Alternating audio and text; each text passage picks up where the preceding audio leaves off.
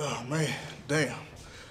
That Ethan Page dude was something else, but guess what? I got his big ass up and put him down. Now I'm down to night two. And I found out that the tournament is for the title. So guess what? I got this little ninja by the name of ACH.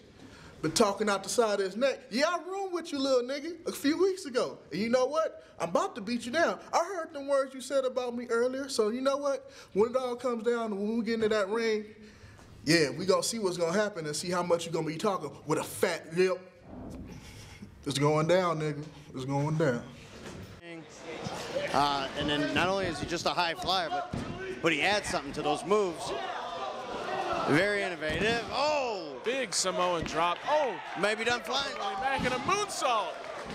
One, two. ACH kicks out again.